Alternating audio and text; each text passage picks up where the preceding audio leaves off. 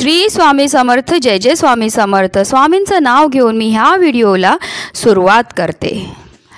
सफला एकादशी ही नवीन वर्ष दोन हजार चोवीसची पहिली एकादशी आहे. हिंदू कॅलेंडरनुसार मार्गशीर्ष महिन्यातील कृष्ण पक्षातील कॅल एकादशी तिथीला सफला एकादशीचं व्रत केलं जातं. सफला एकादशीचे व्रत नवीन वर्षात दोनदा आहे. नवीन वर्षातील हे पहिले आणि शेवटचे व्रत देखील आहे.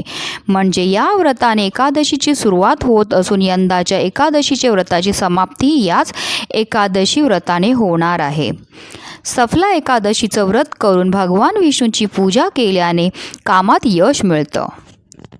यंदा सफला एकादशीचं व्रत रविवारी म्हणजे सात जानेवारी रोजी होणार आहे. या वर्षाच्या एकादशीच्या व्रताला सफला एकादशीपासून सुरुवात होणार आहे.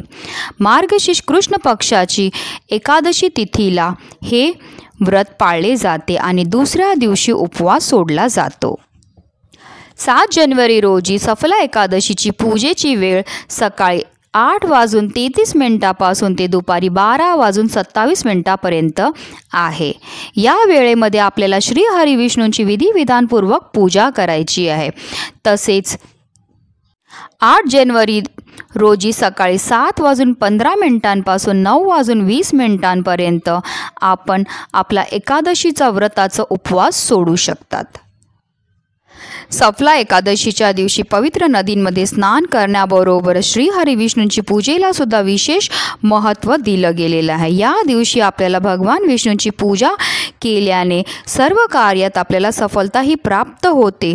त्याचबरोबर आपल्या जीवनामध्ये असणारे सर्व दुःख दारिद्र्यही दूर होतं. आणि सफला एकादशीचं व्रत केल्यामुळे आपल्याला अश्वमेध यज्ञ करण्यासारखे पुण्य प्राप्त होतं. या वर्षातील पहिली एकादशी आहे सफला एकादशी आणि सफला एकादशीच्या नावातच सफलता आहे. आणि म्हणूनच जर ह्या दिवशी आपण कोणतेही उपाय केले किंवा कोणतीही सेवा केली तर त्याचं पुण्य आपल्याला हजार पटीने प्राप्त हे होणार आहे. आणि म्हणूनच जे आहे उद्या सकाळी आपल्याला इथे एक असा दिवा लावायचे ज्यामुळे आपल्या कुटुंबावर कधीही कोणत्याही वा प्रकारचं वाईट संकट तर येणारच नाही. पण त्याचबरोबर आपल्या सात पिढ्यांचं दारिद्र्यसुद्धा नष्ट होणार त्या त्याबद्दल सविस्तर माहिती मी तुम्हाला या व्हिडिओमध्ये देणार आहे. तर व्हिडिओ पूर्ण पहा आणि जर माझ्या चॅनलवर नवीन असतील तर चॅनलला सबस्क्राईब करा आणि शेजारी बेल आयकनसुद्धा प्रेस करा. जेणेकरून तुम्हाला माझ्या नवनवीन व्हिडिओचं नोटिफिकेशन हे मिळत राहील. अगदी तुमच्यापासून माझ्यापर्यंत प्रत्येकाला असं वाटतं की आपल्या घरामध्ये सुख समृद्धी नांदली पाहिजे. त्याच्याकरता आपण खूप कष्टसुद्धा करतो मेहनत करतो. पण बऱ्याचदा काय होतं आपल्या कष्टाला आपल्या नशिबाची साथ नाही मिळत. बऱ्याचदा आपण पाहिलं असेल आपल्या घरामध्ये सारखी भांडणं होत असतील कलह होत असतील वारंवार आजार पण येत असेल घरात चिडचिड होत असेल लहान मुलं फार आजारी पडत असतील किंवा लहान मुलं फार चिडचिड करत असतील. घरात पैसा तर येतोय पण आलेला पैसा राहत नाही आहे काही ना काही मार्गाने खर्च हा होतच आहे. आलेली लक्ष्मी जी आहे ती स्थिर राहत नाही आहे त्यामुळे आपल्या घरामध्ये दारिद्र्य आलं असेल. जर अशा प्रकारच्या काही समस्या तुमच्या घरामध्ये सुद्धा उद्भवल्या असतील तर हा अतिशय प्रभावी उपाय आणि ह्या वर्षाची ही पहिली एकादशी असं म्हटलं जातं की ह्या वर्षाची पहिल्या एकादशीला आपण जे पण कार्य करू ते याचं पुण्य आपल्याला वर्षभर मिळणार आहे. म्हणून प्रत्येकाने हा दिव्याचा उपाय नक्की करायचा. आहे.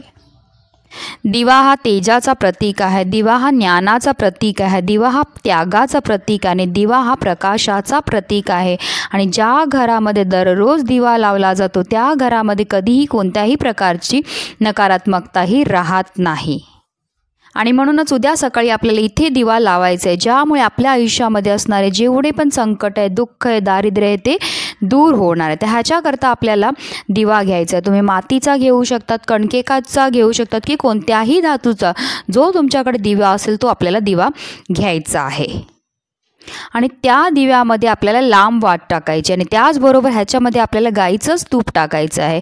कारण जो पण दिवा आपण इच्छापूर्ती करता मनोकामना पूर्ती करता त्याचबरोबर धनप्राप्ती करता करतो त्याच्यामध्ये नेहमी गाईच्या तुपाचाच वापर हा केला जातो.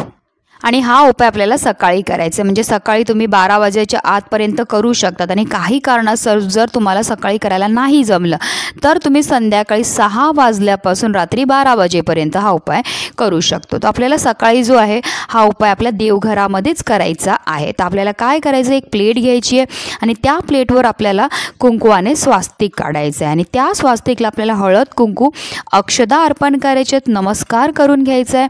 आणि त्या स्वास्तिकवर आपल्याला जे आहे मूठभर तांदूळ ठेवायचे आहेत.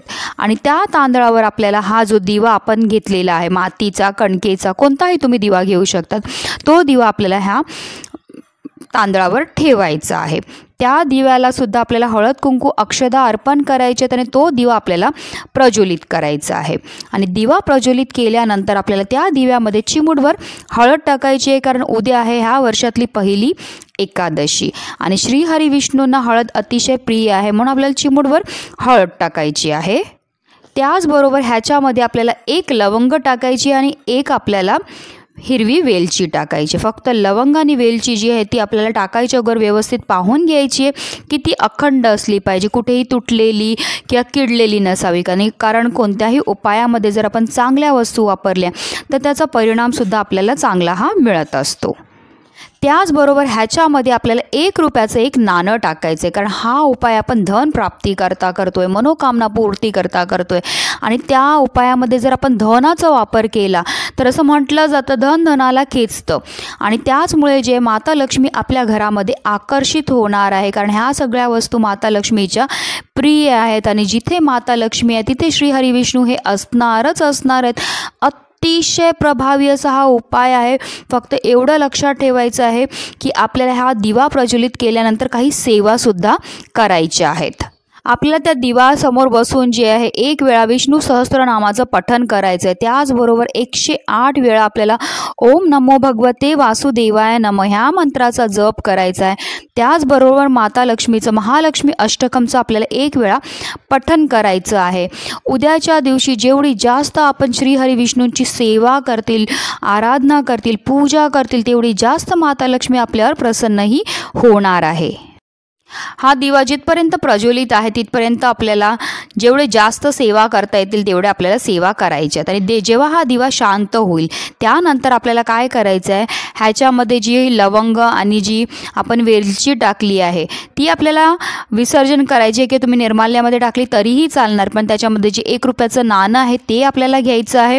आणि त्याचबरोबर जे दिव्याखाली आपण जे तांदूळ ठेवलेले ते त्याच्यातले थोडेसे तांदूळ आपल्याला घ्यायचे आणि उरलेले तांदूळ आपल्याला पक्ष्यांना खायला द्यायचे त्याच्यानंतर एक लाल कपडा घ्यायचा. त्या लाल कपड्यामध्ये हे एक रुपयाचं नाणं आणि थोडेसे तांदूळ. आपल्याला एक छोटीशी पोटली बनवायची आणि आपल्या घरामध्ये जिथे तिजोरी असते त्या तिजोरीमध्ये आपल्याला ही पोटली ठेवायची. कारण ह्याच्यावर आपण उच्च गोटीच्या सेवा केलेल्या आहेत आणि जर अशा सेवा केलेल्या वस्तू जर आपण आपल्या तिजोरीमध्ये किंवा जर हा तुम्ही व्यवसायाच्या ठिकाणी करणार असेल तर व्यवसायाच्या ठिकाणी गल्ल्यामध्ये कुठेही ती ठेवलं तर त्यामुळे तुमच्या घरामध्ये धनाची आवाक वाढेल. म्हणजे ध पैसा पैसाला खेचतो त्या रीतीने तुमच्या घरामध्ये पैसे येण्याचे अनेक मार्ग हे मोकळे होणार आहेत. अत्यंत प्रभावी असा हा उपाय तुम्ही करून तर बघा. तुमच्या मनातल्या सर्व इच्छा ह्या पूर्ण होणार फक्त कोणताही उपाय किंवा सेवा करताना पूर्ण श्रद्धेने करा आणि व्हिडिओ जास्तीत जास्त लोकांपर्यंत शेअर करा. जेणेकरून सगळ्यांच्या आयुष्याचं कल्याण झालं पाहिजे. हीच मनामध्ये इच्छा. श्री स्वामी समर्थ. जय जय स्वामी समर्थ.